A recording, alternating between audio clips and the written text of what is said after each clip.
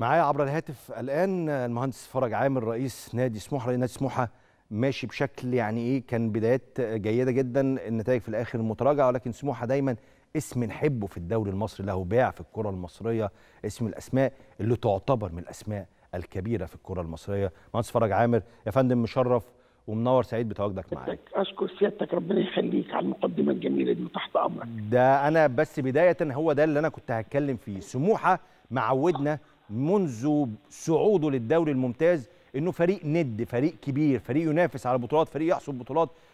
سموحة بقاله كام موسم كده في تراجع؟ الموسم الموسم اللي فات هو اللي آه. كان في تراجع. الموسم اللي فات. موجود في النادي الموسم أنا طول عمري طبعا في النادي بقالي 25 سنة رئيس النادي. السنة اللي. فاتت أنا ما كنتش في النادي. عظيم. أنا جيت لحقت الفريق.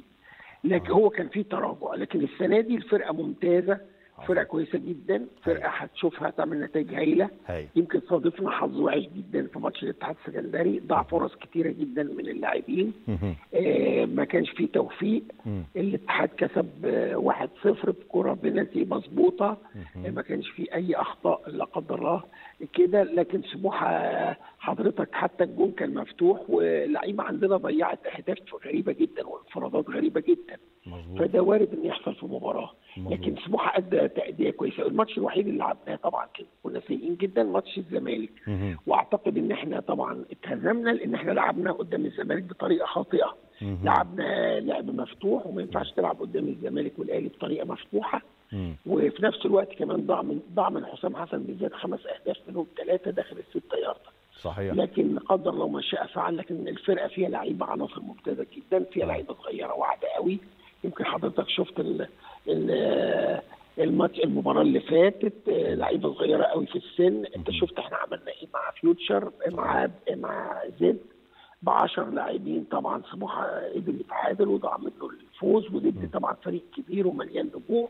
فاحنا مستعدين السنة دي استعداد كويس عندنا لعيبة كويسة. الكابتن أحمد سامي يعني هو طبعا حافظهم وع- وعارف وإن شاء الله هتجد المستوى يتصاعد من مباراة إلى أخرى. نحب كده طبعا يا باشمهندس. طيب أنا أنا الجزئية اللي أنت قلتها إنه كان سموحة المفروض ما يلعبش مباراة مفتوحة أو جيم مفتوح مع نادي الزمالك. لما اتكلمت. أنت طبعا بطبيعة الحال مع لا كابتن ما ك- بتكلمش في حاجات فنية مع الكابتن أحمد سامي. أنا عندي ثقة فيه آه. وهو راجل كويس ومدرب واعد وراجل ممتاز وأثبت جدارة وطلع من تحت إيدي لعيبة ممتازة جدا. آه. لكن دي بلحظتي أنا.